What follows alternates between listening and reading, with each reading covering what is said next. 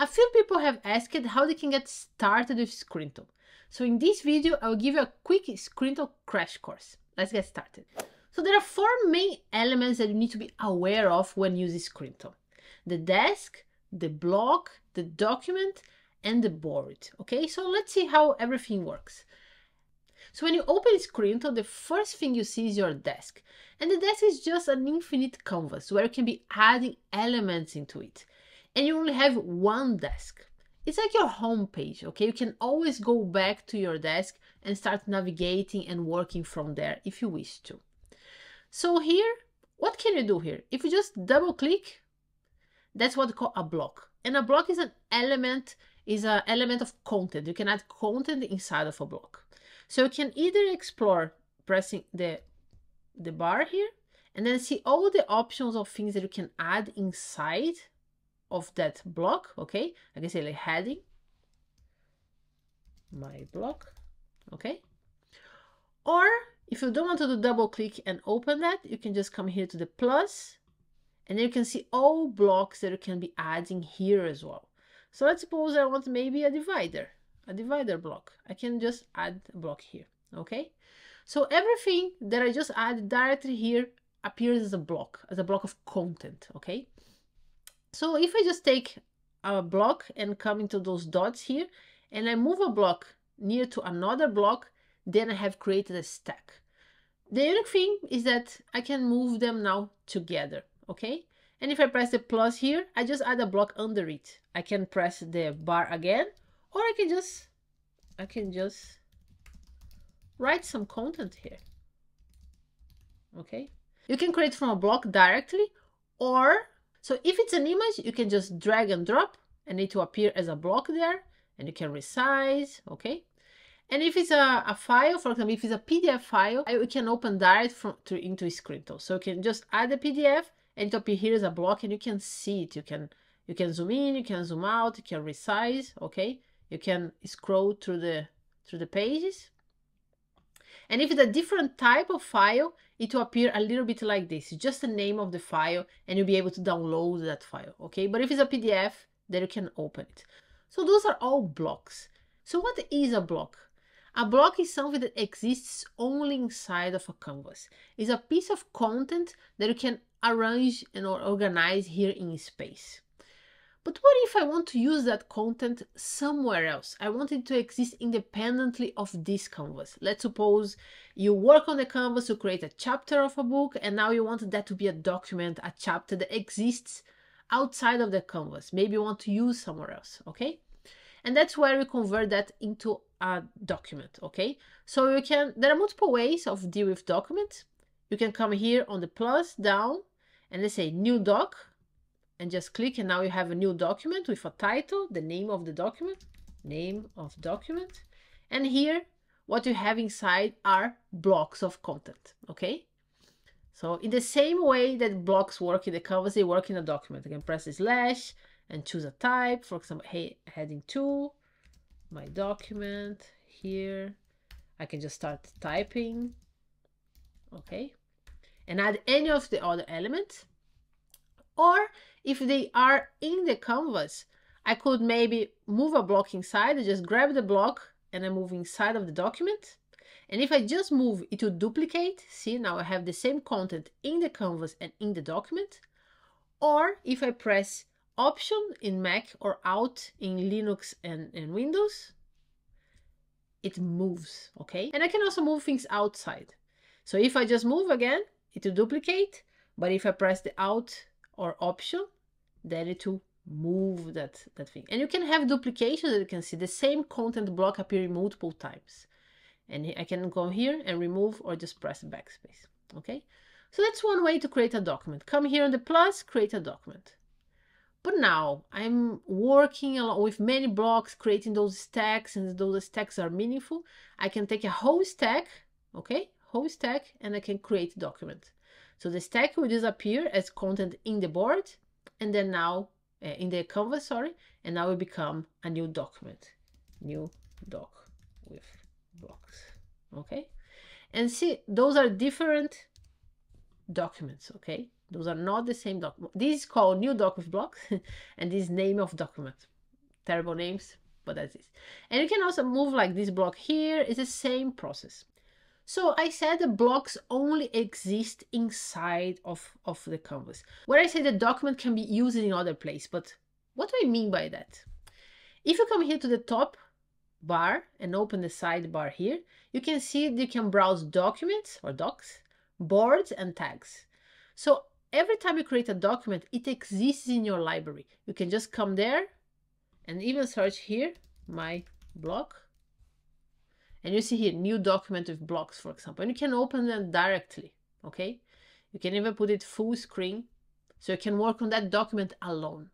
And you can also search for it. So let's go back to the desk again. So home, my desk, I'm back to my desk, my home page, okay?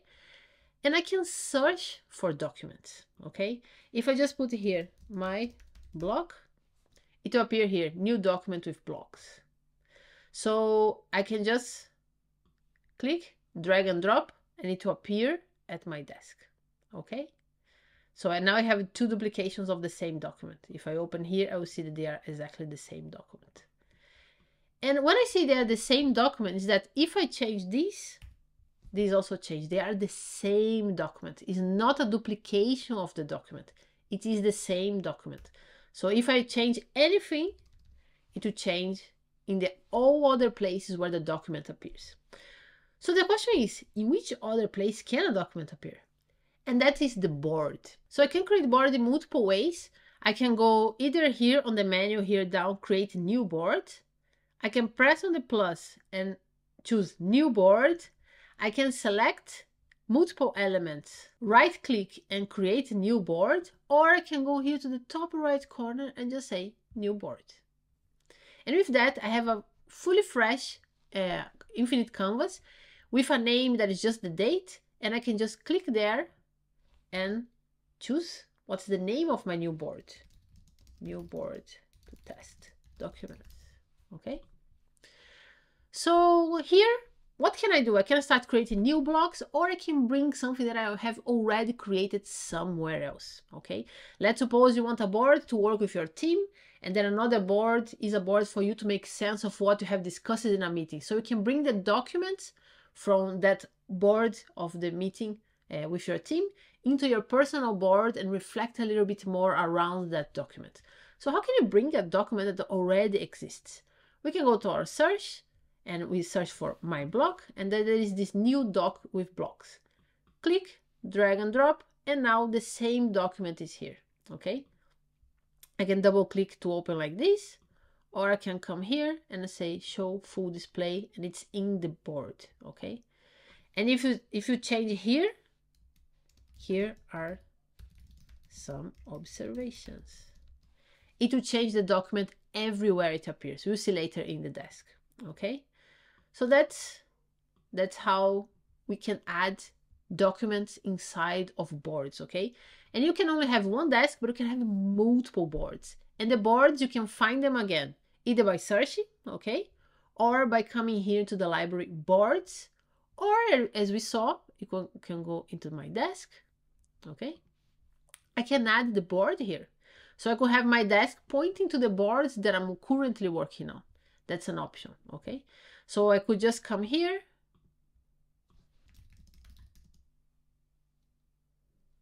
new board test documents, drag and drop, and now I have the board here. So every time I double click, it will open the board for me, okay? And that's how you can create multiple boards. And the last thing, which is very important for Scrintal, is the idea of links. And currently there are two types of links, okay? Or how we can understand links. So I'll just create here a new block, okay? There are visual links where you just come here to the bottom, draw connector, and then you create. You can say there is a link between this document and then this block. See, and I can move them around and there is that visual arrow connecting them. And the visual connector or the visual link only exists as a drawing. It's just really for you to make sense of what is in the screen, what's in the canvas right now, okay? But there is another type of link that is very important and it's called a logical link. And what is a logical link? Let's suppose here I have, uh, let's create a new document. So create a new document. doc to be linked. So I, I named it doc to be linked. And if I come here in the content of my blog, I can add a link with the slash again. So I say link, okay? And I can link to that document. I just start writing the name of it, link it, okay? And it will appear here on this list. We just click on it, and now there is a link between those two. This link is at the moment not a visual link, okay? It's just a logical link. And what it means to have a logical link? It means that I can click on it and open that document, okay? And every time we create, we manually create a link between a document or a board, okay? Because can only create links between documents and boards, not with blocks, okay? Uh, Scrintal creates a reverse link. So I can go from this document to this document or come down here, see backlinks, come from the other way around, from this document to that document, okay? And I can be jumping from one to another, okay? That's a way how you can navigate between boards, between uh, between documents as well. So this board, for example, every time we add an, a document or a board inside of the canvas, we automatically create a link between them. And that's why you can see the top right corner here, links. If you click, you can see there are links between this board and the elements, the documents inside of this board, okay? And do you remember that we have added this board inside of our desk? So you can just come here, okay? Uh, and see boards, desk, okay? Boards and backlinks are the same thing, okay? So you can just come here, click, we are at the desk. If you come here, links, again, you can find here the board.